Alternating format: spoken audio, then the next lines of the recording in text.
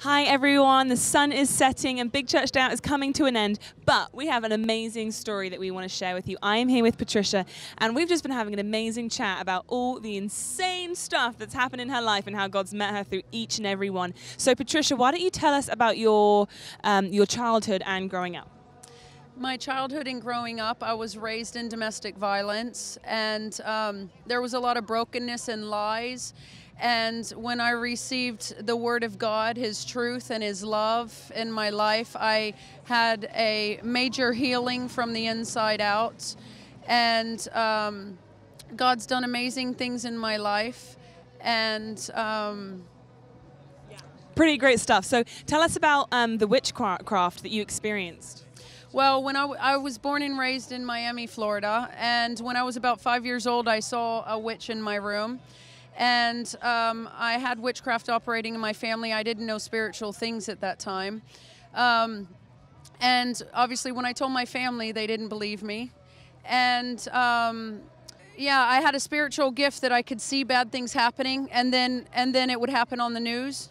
And so um, I came later on when I was in about fifth grade. I got kicked out of class for practicing witchcraft which I didn't realize that that's what I was doing, or playing the Ouija board, um, going to psychics, tarot cards, astrologers, mediums, co connecting with the dead, um, asking them if they're real to reveal themselves, and they actually did. And um, God's very real as well. Yes, yeah. So tell us about that realization of finding Jesus, the one true Lord. What was that experience like from witchcraft over to Jesus Christ? Well, all my life, I've always felt Jesus' presence. I've always felt his love, and I've always felt his protecting hand on my life. For example, in um, Miami, I was in Hurricane Andrew in 1992 in August, and we were in the eye of the hurricane. We were meant to evacuate, and um, they told us at the last minute where we had nowhere to go, so we stayed. And in Miami, all the houses have bars on all the windows and doors. So we just waited it out. We boarded up all the windows. And after the hurricane, the aftermath was complete devastation. There was dead bodies and dead animals everywhere. And at that moment, I walked out to the end of my sidewalk and I looked up to heaven and I asked God, why did you keep my family alive and let the other people die? And he said, Because I have a powerful plan for your life. And I heard his audible voice. And um, my conversion wasn't at that point. But spiritually, the first time that I encountered Jesus and saw Jesus, I didn't know Jesus could make himself appear. I didn't know what the Bible said about appearing after his resurrection. Um, I was in, it was after my mom died. I was grieving the loss of my mom. And I and when you're raised in the world, you you think the other side means heaven, but it doesn't. It means the supernatural, but not of heaven. And so um, I was mourning and it was dark in the room and all of a sudden Jesus' face appeared above my computer and I saw his face and his eyelashes and pupils and the entire room filled with such a thick peace that I'd never experienced in my life. And I said I know that's you Jesus. I didn't know you can do that but please don't leave me. Just stay here. Wow, that's amazing. And that he has put in your heart forever.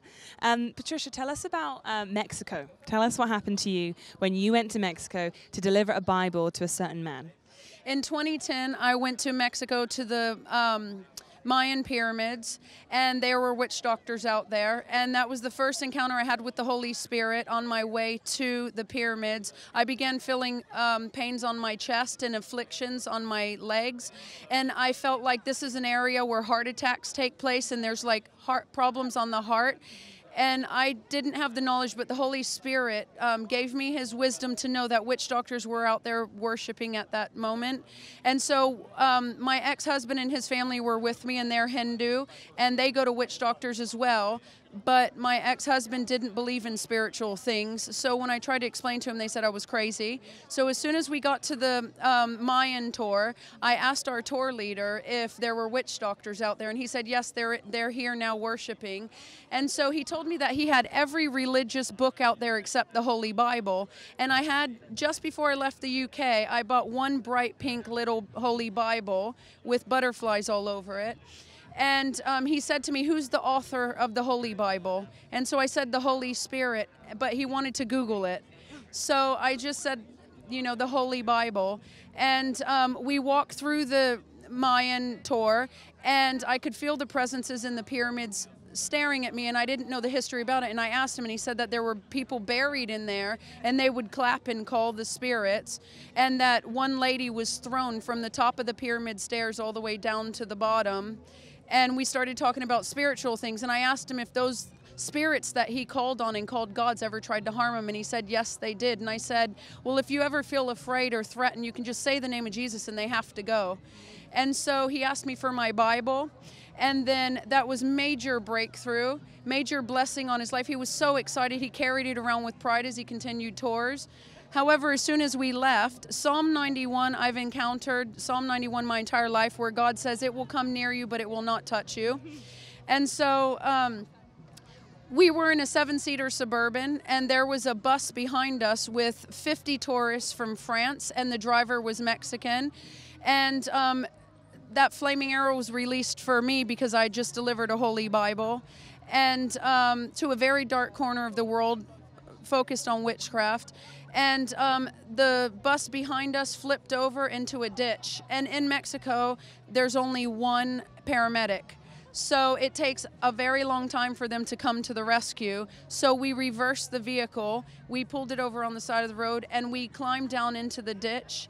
And we um, rescued all the 50 people and brought them out of the vehicle. There was one injured person with um, backlash, and we put them on top of the bus, and we had all 50 people on the other side of the road. And when I looked at the Mexican driver, I said, That was Jesus. He said, I know.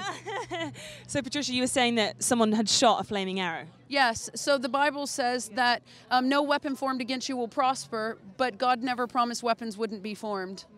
So God protects us from those flaming arrows and He gives us the wisdom to show us what's coming against us so that through the blood of Jesus we can break it off of our life. This is just amazing. I hope you're enjoying listening to this at home about just all the things that Patricia has faced. Um, Patricia, tell us about when you were in the UK and if you don't mind talking about it, all the uh, how God helped you through all the domestic violence that you went through.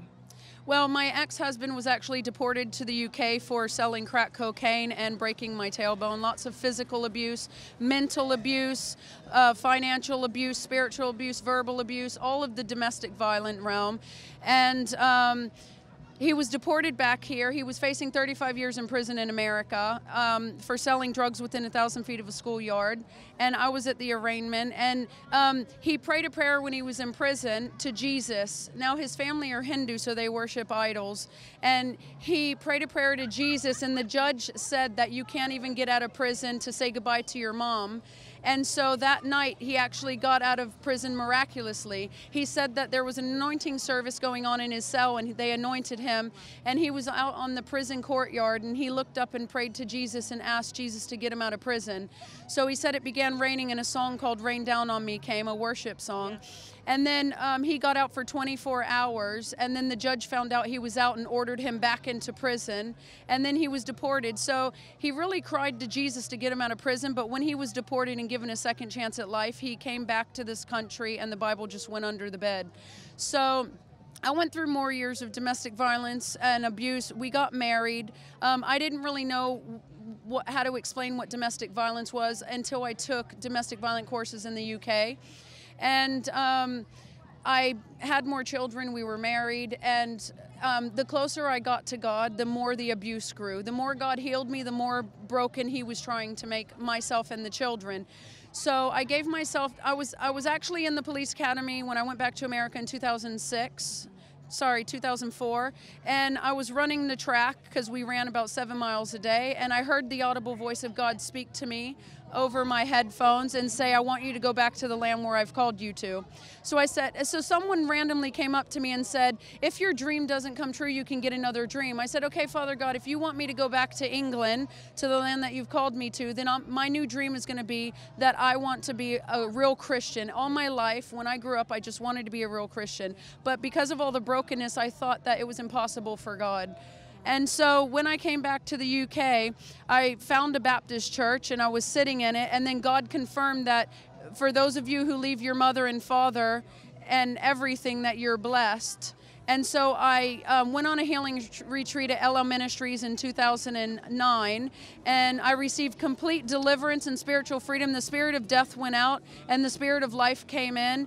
And from that moment on, I gave my life to Christ. And then things became worse with my marriage. So the spiritual warfare, um, he got baptized and used the Bible to cover up abuse, which is a lot of it's going on in the church today in marriages, which is very not there needs to be more of an awareness made within the body of Christ, not just outside the church or outside the country, but actually in this country and in these churches. Domestic violence and spiritual warfare, especially Christian persecution. My children and I have suffered the domestic violence as a result of Christian persecution of our faith and our love for Jesus, just for loving Jesus. So, Patricia, you're no longer with that man, is that correct? No, I've divorced him, but as a result of that, um, my daughter's in therapeutic foster care in Hastings, where I went to a women's refuge one time, and um, my two sons are currently with him. So I'm fighting for custody of all three of the children.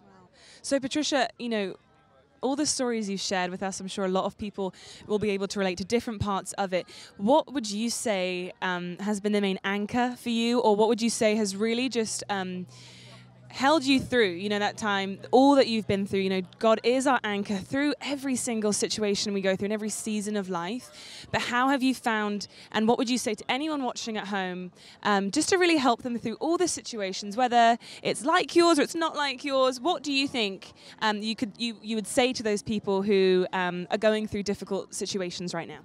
I would like to encourage all the people that are suffering domestic violence, women, children, even men, and Christian persecution around the world and in the UK, that. Um, the unconditional, unending, everlasting love of our Heavenly Father will get you through anything that's designed to break you. And even if you've become a backslidden Christian and you've lost all hope and you've been judged by the multitude around you, God's love will rebuild you. His spirit of resurrection will bring you from spiritual death right back to life again. Jesus is stepping out and just saying, Take my hand and, and come to me because he wants you to have a revelation of his love. That's great. Thank you so much for sharing your story, Rebecca. Uh, sorry, Patricia.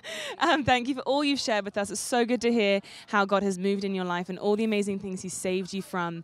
Um, so thank you so much for your thank story. You. Um, and we hope you've enjoyed yourself this weekend. God bless. To be serving and um, the persecuted church and making um, positive changes in the lives of those who are suffering persecution as well and domestic violence. What a great thing to be doing. Thank, thank you. you so much, God Rebecca. All right, we'll catch you guys later. We're going to head over to the main stage stage now.